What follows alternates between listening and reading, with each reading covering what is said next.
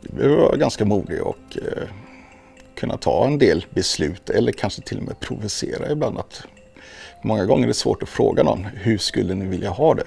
Då kanske man istället kan ställa ett påstående så får man säga nej och så kan man utifrån det fråga, varför sa du nej nu då?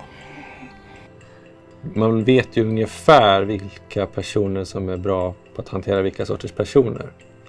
Det eh, kanske är bäst att ta den här arkitekten till den här kunden för de jobbar ungefär så här. Så får han vara den fronten mot kunden och så driver in arbetet till oss utvecklare. Jag skulle säga att det är viktigt med företagskulturen när det kommer till integration. Därför att integration är ju på något sätt en samverkan mellan så mycket. Eh, det lever inte sitt eget liv utan den har ju bara ett berättigande om det finns någonting annat i verksamheten som behöver lösas. Så att eh, det blir ju alltid ett samspel mellan både olika leverantörer och parter och många olika delar av företaget. Eh, så klimatet är ju viktigt där, att det är öppet och finns utrymme för mycket diskussion och frågor.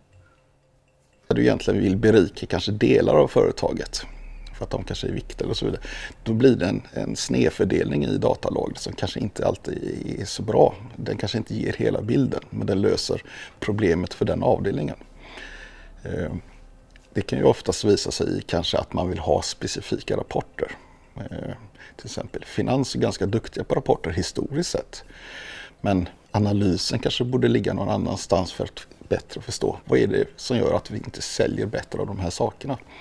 Vilket innebär egentligen att de här avdelningarna måste börja prata med varandra. Och det är ju en kulturförändring på ett sätt. Ett årshjulsplanering på att nu ska vi ske utbildning med personalen. Utan det har varit inför att vi på IT-avdelningen vill släppa ut delar i verksamheten, eh, dela ut ansvaret.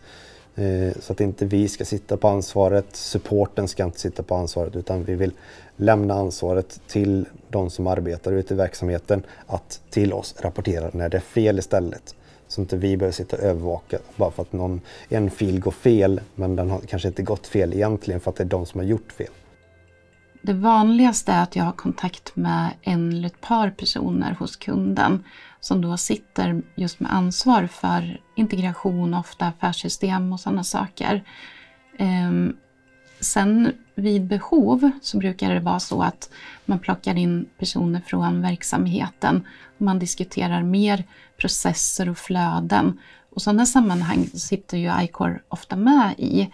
Men jag skulle säga att det vanligaste hos kunderna är att eh, våran naturliga kontaktperson är någon som jobbar lite mer tekniskt. Eh, I, projektledning, eller I projekten så sitter vi direkt med kund och eh, oftast även med deras konsultverksamheter. Så vi sitter och diskuterar direkt med eh, de som behöver göra jobbet hos dem.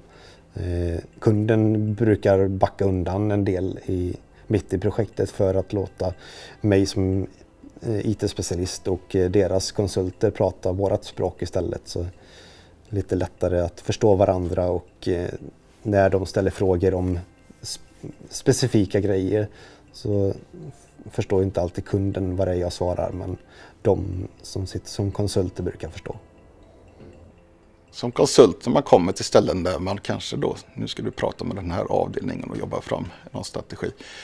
Så är det bra att ha en bred erfarenhet från alla delar i en process i ett företag. Allting från CRM, sälj, marknadsföring för att kunna ställa de rätta frågorna. Varför gör ni de besluten här och varför tar ni inte dem där borta?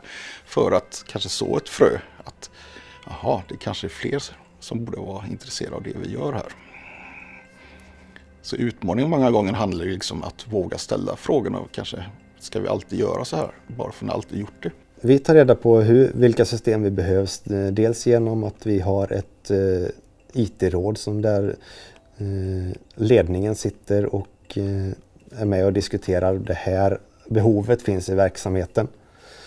Eh, vi har även en IT-forumsdel där vi sitter med eh, mer arbetare nere på golvet som sitter i truckar och eh, superusers och liknande som hjälper oss att eh, komma fram till vad behöver ni för någonting i er verksamhet. Och det lyfter vi då vidare till IT-rådet som då får besluta om vi ska gå vidare med det. Generellt skulle jag påstå idag är ganska bra på att prata mellan avdelningar. Man vet att man sitter i samma båt.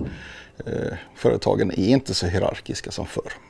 Man vet att liksom information blir mer och mer viktigt inom ett företag. Och framförallt om du vill bli datadriven så måste besluten ner där de behövs tas i realtid mer eller mindre. Vilket innebär egentligen att insikter man får, Eh, kanske som en ledningsgrupp eller som analytiker, de actions då man vill ta, de vill man ju exekvera så fort som möjligt nere i systemet.